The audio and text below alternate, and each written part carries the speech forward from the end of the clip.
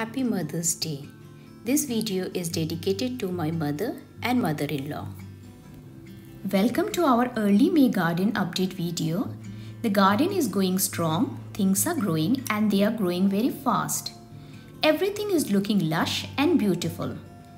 At this point we are almost done with spring crops except few that we will soon harvest within few days and we have planted most of our summer veggies and herbs.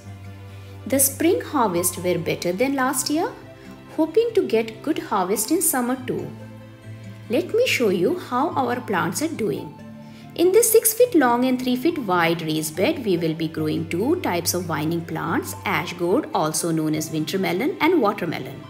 We have seedlings growing in the bed. These are they are very tiny now but soon both the plants will take off and cover the entire bed. But for now we have placed some planters on the raised bed. We are growing flowers in them, marigold, cosmos, zinnias. We will later move these planters to other parts of our garden once watermelon and ash gourd vines start spreading. Marigolds are dwarf variety, both yellow and maroon colored marigolds. Meanwhile, we are topping zinnias to force the plants to grow more bushy which will allow it to yield more.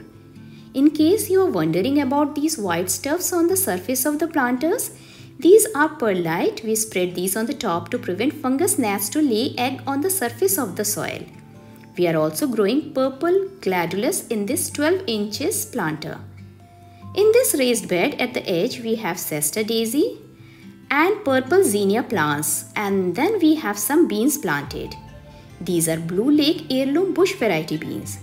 These beans are already flowering and producing beans. We are done with leafy greens, arugula and lettuce and we replaced empty space with pepper plants. We are growing 6 varieties of peppers this summer. Five varieties of hot peppers, habanero, jalapeno chili, long thin cayenne, Thai hot and Tabasco hot pepper. California Wonder is the only sweet pepper variety we are growing this year. We started all this pepper seedling indoors under grow light in early January except Tabasco hot pepper. We got the transplant of Tabasco from Home Depot. In total, we have 20 pepper plants growing in our raised bed. We planted them next to each other because we don't save seeds unless it's heirloom variety. Next to our peppers at the north side of the raised bed are three different varieties of sunflowers. The varieties are Lemon Queen, Autumn Beauty and Velvet Queen. These are multiple branching plants.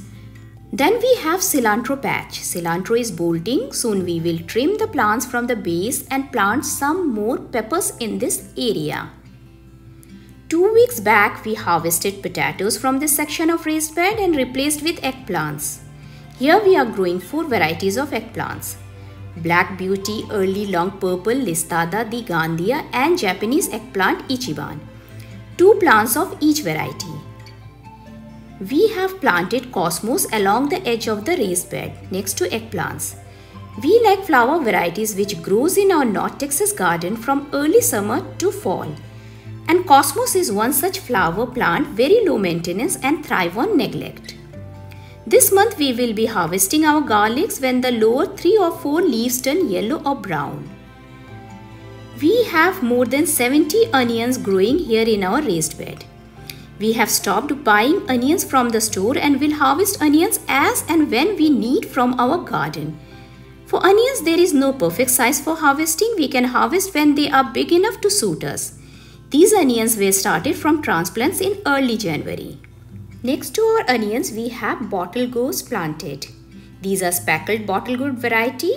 We planted three seeds here and three more seeds there. All six seeds germinated. Soon we will keep two healthy bottle gourd plants and trim the rest.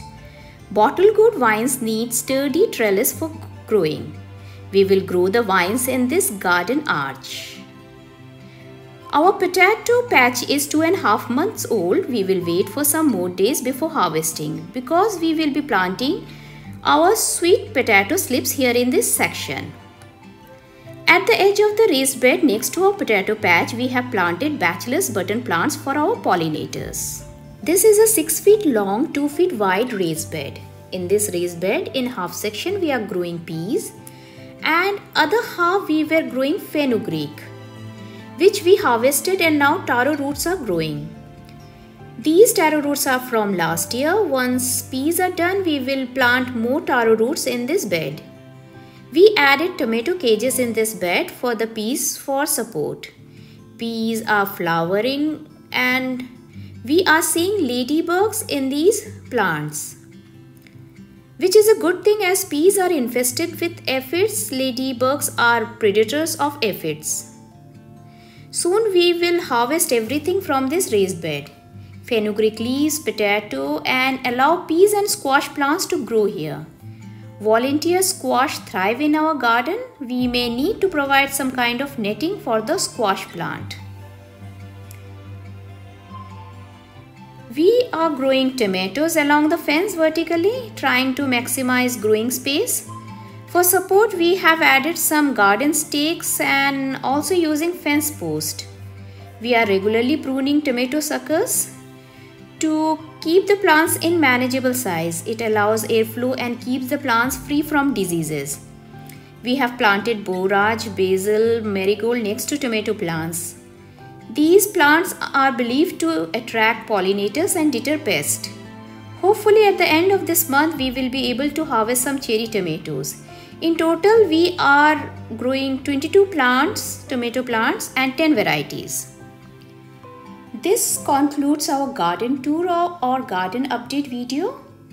Hope you like this short video. We have more seedlings and sprouts growing that we will plant in coming weeks.